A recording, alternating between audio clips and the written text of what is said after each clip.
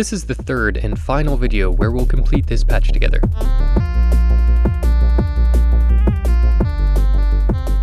In this video, we'll build the lead. We're using some of the modules that we set up last time, so check out those videos if you're interested. You can find links to those previous videos in the description, as well as a link to the complete patch, which you can download for totally free. The lead synth is MIDI playable, so if you have a MIDI device, I'll show you how to set that up, but we're going to be configuring it to play with the QWERTY keyboard. The lead is made of two blended voices that are an octave apart. The waves are mixed and then sent through a low pass filter that is modulated by the note initiation gate. It fans it open, which sounds like this.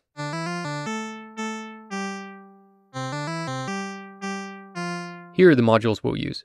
We have the stock MIDI to control voltage module, which connects our MIDI device or QWERTY keyboard, and the stock scope, which we'll use to visualize the sound. Then we have two ADSRs, the LVCF filter, the VCAMP voltage controlled amplifier, two LVCO oscillators, and a crossfader, all by Bogaudio. We're busting out all the skinny modules in this one. Let's start with the MIDI setup. These little screens are clickable, and the first one determines your driver. If you're using a MIDI instrument like a piano keyboard, this will likely be connected to the correct driver right away. In my case, that would be ALSA, because I'm running Linux, but yours might say Windows MIDI or whatever the equivalent is for Mac.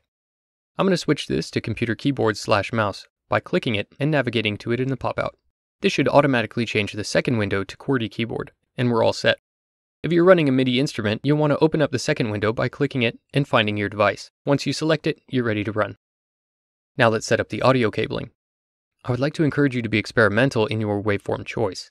I chose a square wave with a short pulse width and a triangle wave, but choose any that you like. You can change them by clicking this little button here. We'll bring the audio outputs from both of these oscillators and connect them to the A and B inputs on the crossfader. It doesn't matter which inputs you use because the crossfader is blending our waves. I chose A for the square and B for the triangle. Just like in our previous videos, we'll turn the shape knob all the way right. This makes it so both waves are at max volume when the mix knob is in the middle. Now our mix output goes to the input of the voltage controlled amplifier. Then it goes to the filter input. The output from the filter goes to either input of the scope, and the scope output goes to the fourth channel of our mixer. Make sure you turn your mixer down somehow. Many oscillators are what we call free running, so the sound is always on. If you plug this sucker right into your mixer, it's going to be super loud, so definitely turn it down to protect your ears. That's all the audio cabling. You're doing a great job so far. Our pitches are going to be controlled by our keyboard or MIDI instrument. So we'll take the volt per octave output from our MIDI to control voltage module and plug that sucker right into the volt per octave input on the oscillators. If you hold control, you can duplicate a cable quickly like this. Now pressing a key on our keyboard or MIDI device will change the pitch. Let's grab the gate output and feed it to the gate inputs on both the envelope generators like this.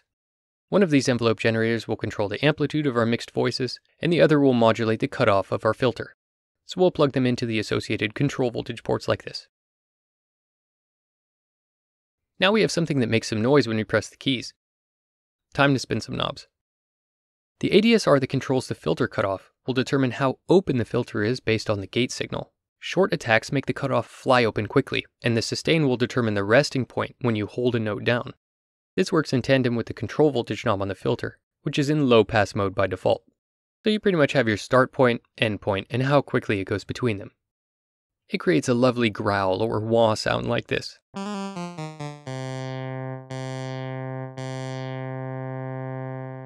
Here are the values that I chose for the filter and its associated ADSR, but I highly encourage you to experiment and find a sound that you like. Similarly to the filter, our gate's going to open up the VCA so that our sound comes through when we press a key. I went with a short attack, moderate decay, and high sustain. This gives us a subtle swell when we press a key, and then a subtle volume decrease when we hold a note. I also went with a moderate release, so when we let go of a note, there'll be a volume tail. This will give our melodic line some continuity.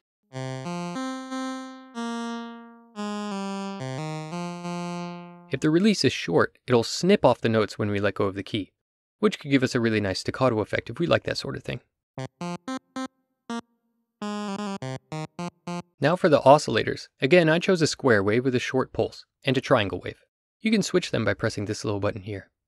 Also, I dropped the triangle wave one octave down, which is about 130 Hz. When you blend two voices one octave apart, it makes the combined voice more powerful and round. It also gives it a stronger presence in the mix.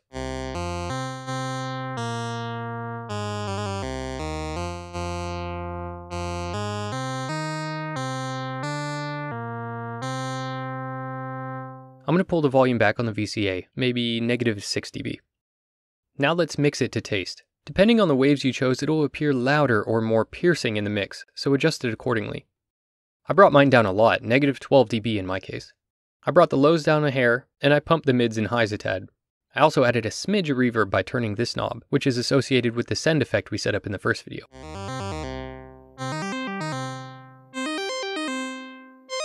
Right now our synth can only play one note at a time, and that can be cool because when you press another note while holding a note, it switches between the notes very quickly, like this.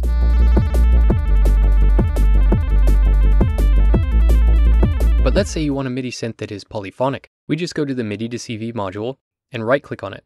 In the context menu, we see polyphony channels. Just increase that number to whatever polyphony you want. All the cables will turn fat and the little lights will turn blue, and then you know you're polyphonic.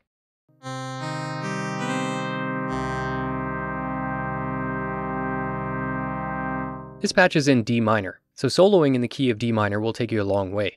In fact, many notes on the keyboard will work for soloing if you're not afraid. I'm a firm believer in the no wrong notes mentality.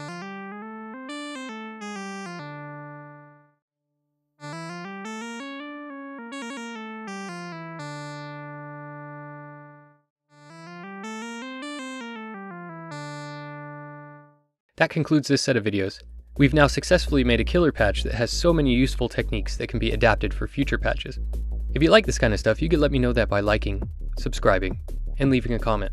All of the content that I make, including my sample packs and the VCV Rack cheat sheet, are free, forever, for everyone, and you can find them on my Ko-fi page. Gary's the newest Ko-fi supporter added to the list. Thank you so much, Gary, you rock. Demid also showed support. Thanks so much, dude. You're the man. Shout out to my other supporters as well. Your names will always be on my webpage and on the dedication page of the VCV Rack cheat sheet. Hope you all have a great day, and I'll catch you in the next one. Bye bye.